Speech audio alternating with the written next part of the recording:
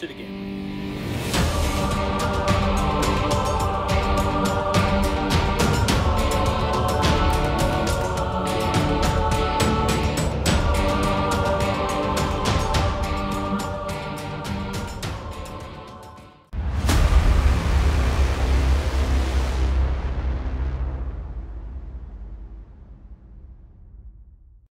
Hey, and welcome back to the channel, everyone. Today we're doing BattleTech. Um, we have a Battle Master, what we see on the screen, they come gray, and by the time we're done, we want them to look like this. Uh, we're going to use contrast paints, basically it's really three colors, um, and we're going to get them tabletop ready in a very quick, short amount of time these videos are really geared towards the new painters or people who just need to get something done quickly.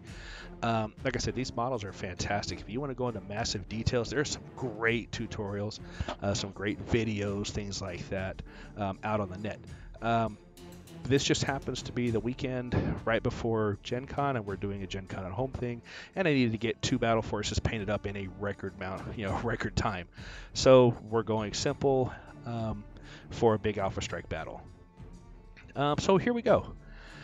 Um, we're going to use Blood Angels Red, and then Black Templar, and Gunmetal. These are our three colors. Um, we could go more. Um, you know, caveat: I did not do the windshields. Um, they're black. Uh, eventually, I'll go back and I'll do the windshields, and probably do something with the bases as well. But really, just decided that hey, we're going to keep it simple.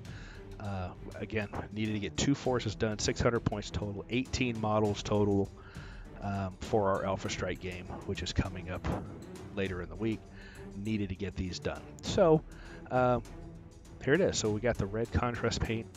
We're just going all over the model. Be very, very uh,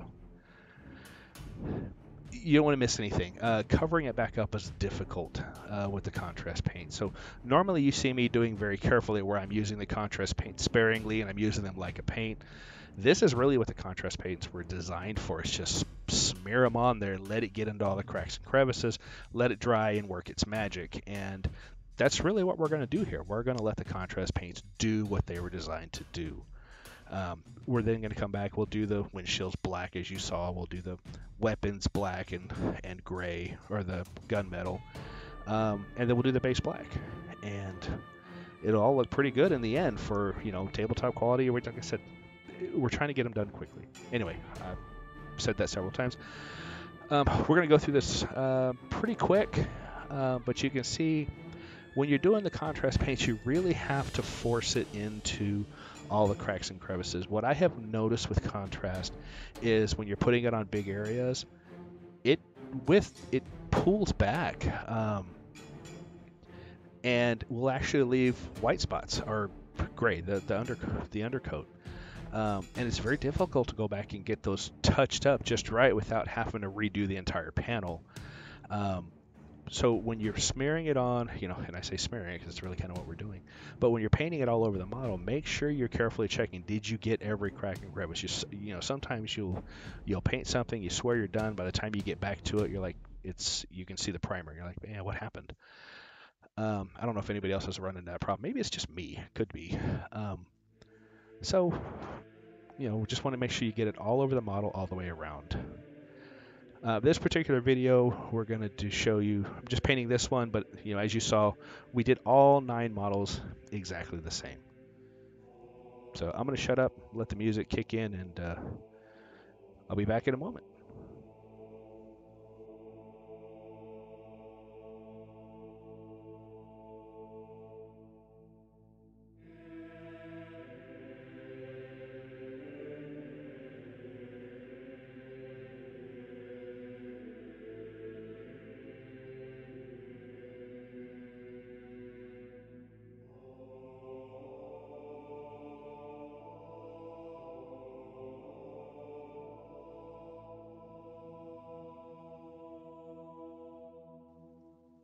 Okay, now that we have the red done and it's dried, uh, we're going to do the black. Uh, like I said, we're going to do the weapons in black and a couple of spots here and there on the models just to kind of break up the the red. Uh, that's predominant. But you can see with the contrast paint, your highlighting is pretty much done. Uh, you're not going to win any awards, but you know it does a good job, tabletop quality, and that's all I go for. Uh, like I said, just try to get something on the table quickly, painted. It looks great. It looks cool. If people criticize your paint job, they're not your friends, so don't worry about it. Um, so anyway, um, again, just paint the joints black. We'll come back and we'll dry brush those with a little bit of silver. I paint usually the hands, uh, the fingers. I usually cover in black. Um, this is actually the first BattleTech models I have ever painted, believe it or not. Um, it's probably easy to believe. Uh, but they were a lot of fun. I mean, they're just great. I, am actually thinking about getting another box of a game of Armored Combat just to get these mechs again and paint them in a different color. Uh, these plastic models are great.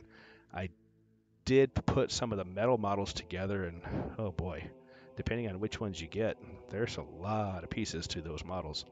Uh, I'm thinking the Timberwolf myself, a hellacious amount of parts for that model.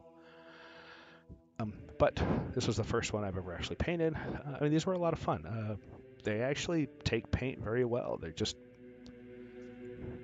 you know, I don't have a massive imagination for, hey, what could I do this? So I looked in the source books, looked to see what I could find, found one I liked, kind of painted. It's kind of a Draconis Combine coloring scheme, I think. Um, but whatever. I'm going to shut up and let the music kick in.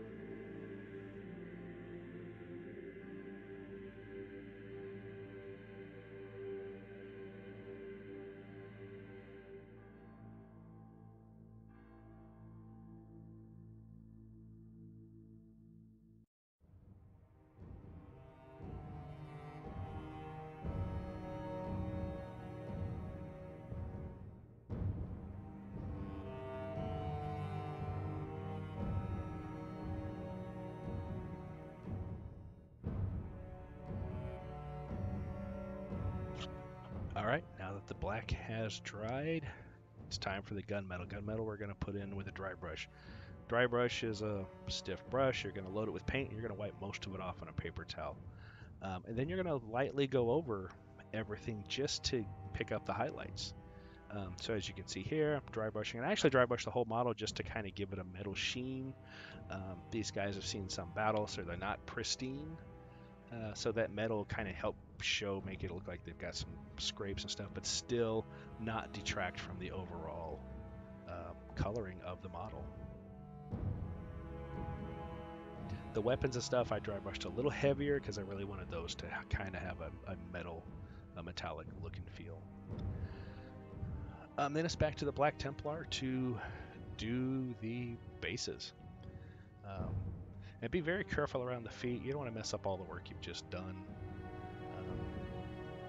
Use my ghost brush for this, and uh, some pretty great brushes.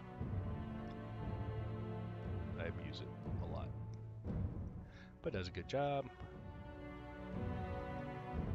Holding the model, let the model uh, give it a good base coat. Like I said, at some point I'll come back and I'll do something with these bases, but Speed was the order of the day.